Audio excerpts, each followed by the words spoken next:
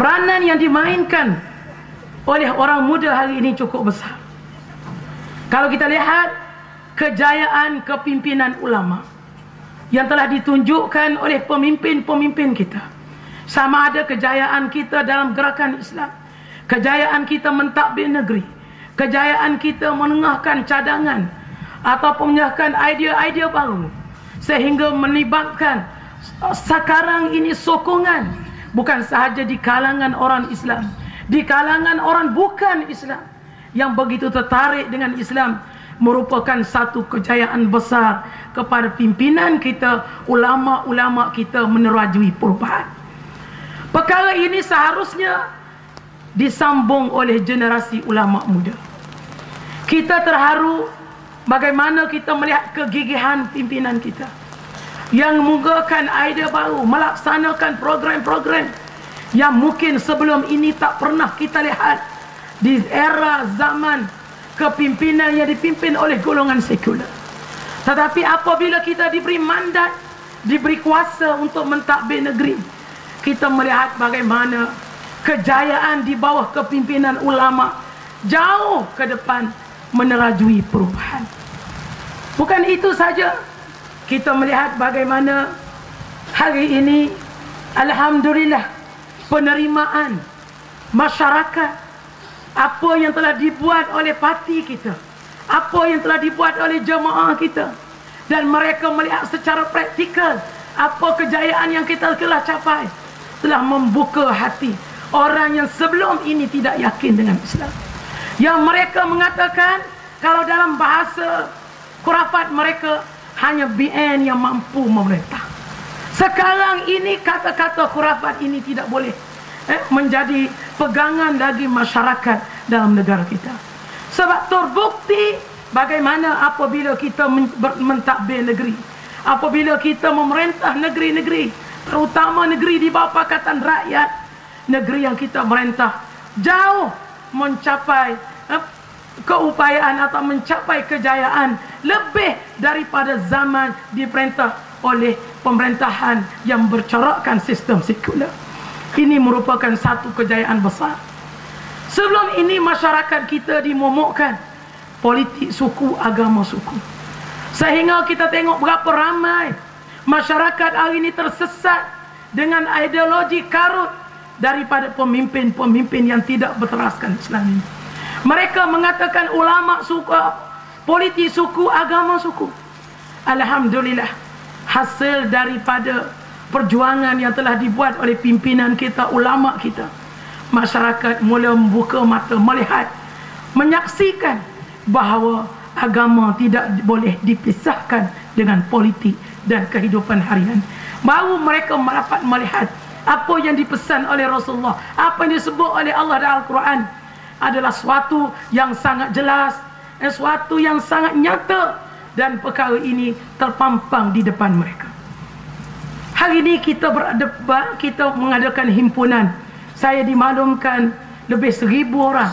Eh, anak muda kita. Eh, yang berayang datang daripada seluruh pelosok negara kita. Untuk sama-sama kita menyatukan. Untuk sama-sama kita menyatukan hati kita. Tindakan kita. Untuk sama-sama kita memenangkan Islam.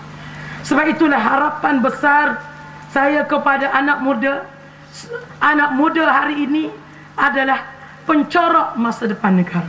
Anak muda hari ini tak seharusnya takut dan gentar dengan sebarang ugutan. Anak muda hari ini tak separuh tak seharusnya takut dengan cabaran. Anak muda hari ini tak tak sepatutnya terperdaya dengan pelbagai tawaran. Anak muda yang ada di depan kita hari ini seharusnya jiwa mereka diisi dengan ilmu dan iman. Seharusnya mereka mempunyai eh, dada mereka dipenuhi dengan ilmu iman. Dan mereka mempunyai nilai akhlak yang tinggi. Ber, ber, berteraskan Al-Quran. Dan dalam sabar dan istiqamah dalam memperjuangkan Islam. Dan menyambung apa yang telah dibuat oleh pimpinan kita. Apa yang telah diarah oleh pimpinan kita. Sebab kita kena yakin kemenangan ada bersama dengan kita dalam menghadapi cabaran ini saya sangat berterima kasih di atas segala pandangan dan cadangan yang dibuat oleh ulama-ulama muda kita. Untuk kita memastikan apabila kita memerintah negara kita dapat mengisi kemenangan ini dengan agenda agenda yang sesuai dengan kehendak Islam. Insya-Allah adik-adik yang dikasihi sekalian. Kita sangat memerlukan pandangan dan idea. Apa yang disebut oleh adik-adik semua ini hendaklah kita sama-sama kemukakan kepada pimpinan kita walaupun pimpinan kita telah ada mencadangkan pelbagai idea tetapi kita sangat mengalu-alukan pandangan dan idea untuk kita memastikan kejayaan kita apabila kita memerintah negara. 55 tahun BN memerintah negara. Negara kita syarat dengan pelbagai krisis dan masalah. Mereka telah membawa budaya jahiliah dalam masyarakat negara kita. Negara kita telah dihidangkan dengan pelbagai bentuk budaya jahiliah yang dibawa oleh pemimpin UMNO dan Barisan Nasional. Budaya rasuah, budaya hiburan, budaya mewah, budaya berpoya-poya, budaya membazir, menyalahgunakan menyalahgunakan harta negara. Semuanya ada di bawah pentadbiran UMNO dan Barisan Nasional. Dan kita lihat hari ini betapa celarunya. Bukan saja kita berdepan dengan kecelaruan kepimpinan negara. Tapi kita melihat kecelaruan dalam sistem pendidikan. Kalau sebelum ini adik-adik dapat menyaksikan kegagalan sistem dasar PPSMI yang telah dibuat oleh kerajaan Barisan Nasional merugikan lebih daripada 5 bilion duit negara. Kita menyaksikan juga bagaimana kegagalan sistem pendidikan dalam negara kita melahirkan pelajar yang berakhlak, melahirkan pelajar yang menghayati Al-Quran. Malah satu kajian menyebutkan lebih daripada 83% rakyat ataupun pelajar-pelajar di bawah sistem pendidikan di Malaysia gagal membaca Al-Quran dengan lancar.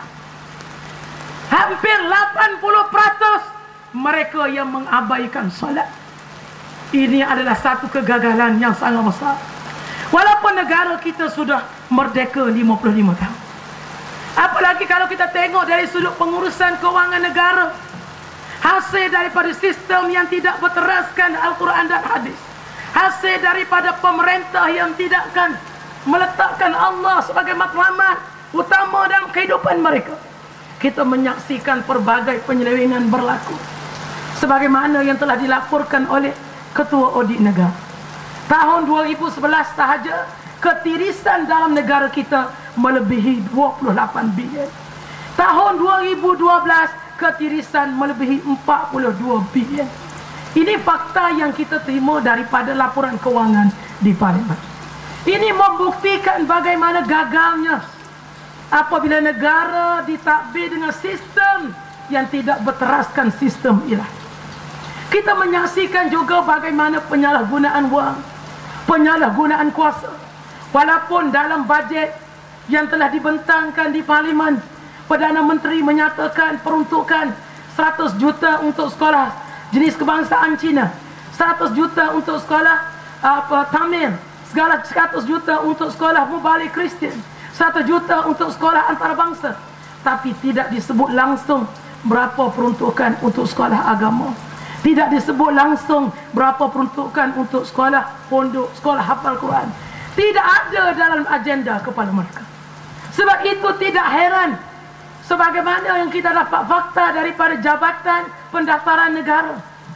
Apabila soalan saya tanya di parlimen daripada tahun 2000 hingga 2010 anak haram, anak luar nikah yang berdaftar dalam negara kita daripada tahun 2000 hingga 2010 sudah melebihi 270 ribu orang.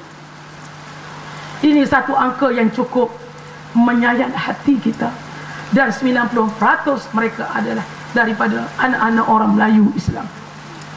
Kalau kita tengok kes yang melibatkan statistik yang terlibat dengan masalah dadah, majoriti juga adalah anak orang Islam. Inilah kita lihat besarnya peranan kita hari ini. Untuk kita berdepan dengan PRU yang ke-13 ini, kita jangan anggap perkara ini benda kecil. Perkara ini adalah besar Kalau kita gagal membuat perubahan pada kali ini, bermakna kita terpaksa tunggu lima tahun lagi. Belum pasti ketika itu umur kita masih ada. Sebab itu peranan adik-adik, peranan anak-anak sekalian, peranan orang muda, peranan ulama muda, peranan muslimat, peranan semua pihak cukup penting untuk memastikan kemenangan Islam dalam pilihan raya akan datang. Kita mesti turun ke padang untuk memberi kemenangan kepada Islam tidak cukup dengan ceramah di pentas mata-mata. Kita mesti turun bersama menyelami hati budi rakyat bersama merasai jerih perih rakyat mendengar keluhan rakyat bersama mengharungi kesusahan rakyat. Ini yang perlu ada kepada pimpinan muda dan anak-anak muda. Barulah kita diberi keyakinan dan kepercayaan mereka untuk memberi perlindungan untuk memberi uh, untuk mereka memberi undi kepada parti kita. Sebab itulah kita mesti jangan leka. Sekarang ini kita lihat mereka cuba perdayakan rakyat dengan pelbagai tawaran-tawaran. Mereka perdayakan rakyat dengan tawaran berim, krim, kuam, macam-macam jenis nak Kita sebagai pejuang Islam, walaupun kita tahu tidak semua rakyat boleh dikelabui dengan duit dan wang ringgit. Tetapi kalau kita tidak beri kesedaran kepada rakyat, dia akan memberi kesan terutama bagi rakyat yang tak cukup ilmu, yang tak cukup maklumat, mereka akan gunakan kesempatan ini untuk cucuk hidung masyarakat yang tidak ada maklumat. Sebab itulah peranan kita hari ini menyampaikan maklumat ini kepada setiap pengundi dan rakyat. Dengan apa cara sekalipun. Mendalar kita mendekati masyarakat kita dengan pelbagai pendekatan. Sebagaimana yang apa yang telah dikemukakan oleh cadangan adik-adik kita tadi. Untuk kita membina sebuah negara perlu kepada penyusunan yang tersusun rapi. Kita memerlukan kekuatan untuk kita memastikan kita mencapai kemenangan. Maka dalam kita menyusun strategi ini semua aspek mesti kita lihat. Kalau tadi kita dengar perbentangan daripada ahwat kita yang berkaitan dengan bagaimana peranan wanita sangat penting untuk kita memastikan kejayaan diadu-adukan kedatangan yang berhormat uh, ketua Dewan Ulama kita apa dia Datuk Ustaz Harun ya sila.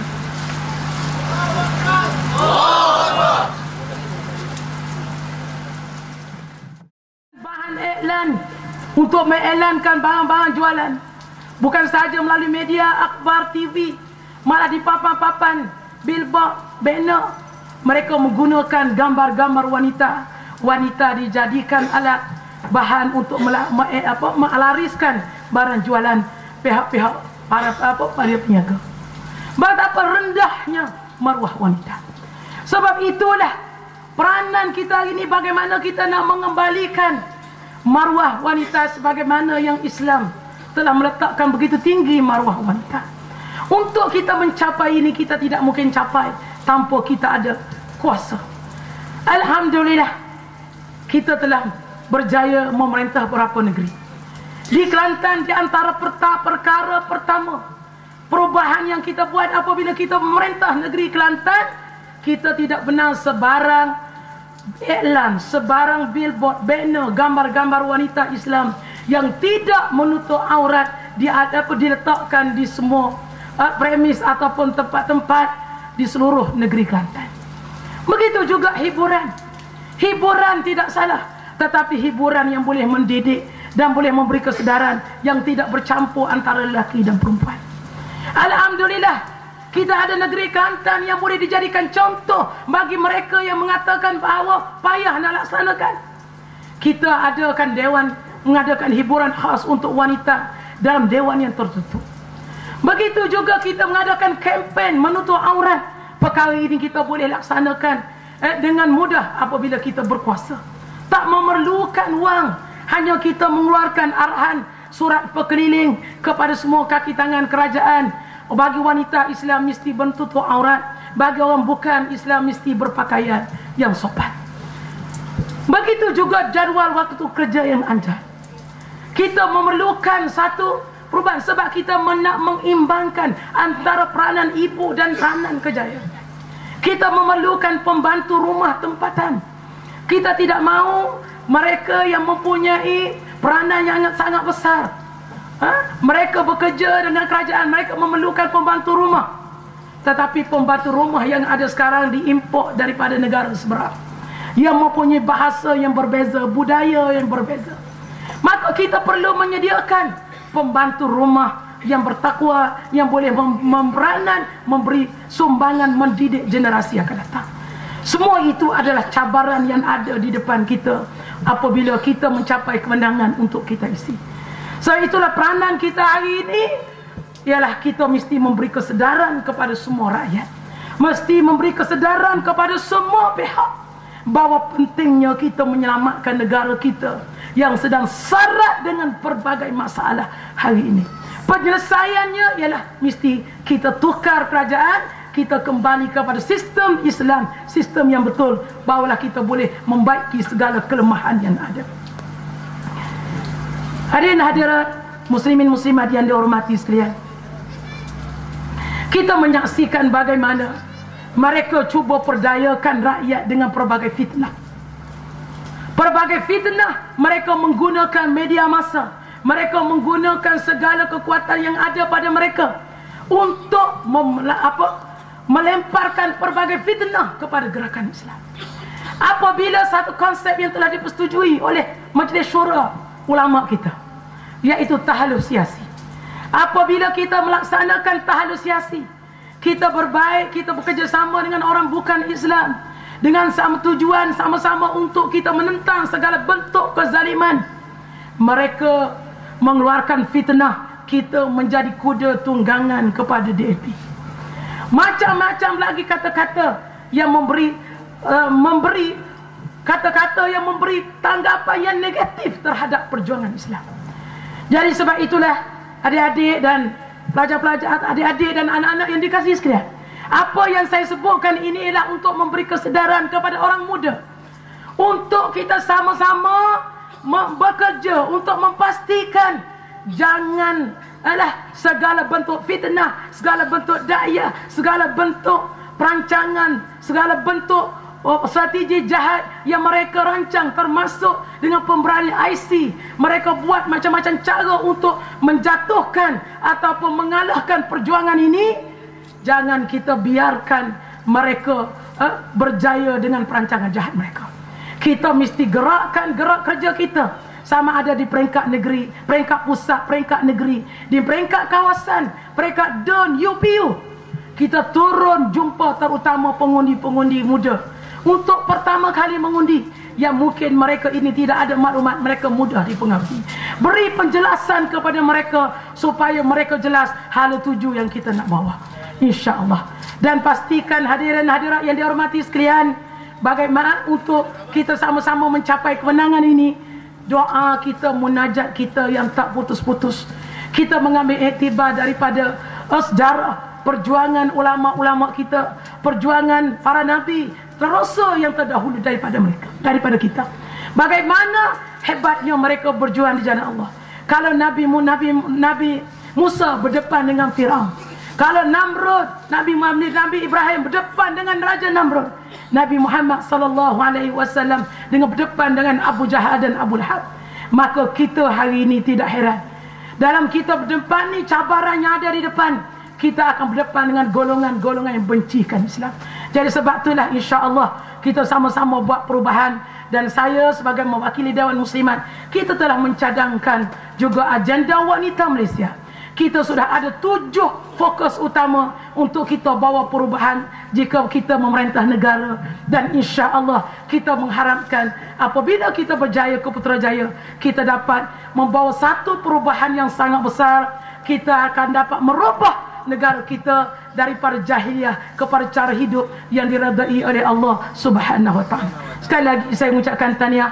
Kerana masa tidak mengizinkan saya ucapkan terima kasih tahniah dan sangat-sangat terima kasih terutama kepada saf kepimpinan Dewan Ulama, pimpinan pemuda, pimpinan ulama muda, pimpinan muslimat dan kepada semua yang telah memberi sumbangan yang cukup besar kepada kemenangan Islam insyaallah. Wallahu a'lam wa billahi taufiq wal hidayah. Wassalamualaikum warahmatullahi wabarakatuh.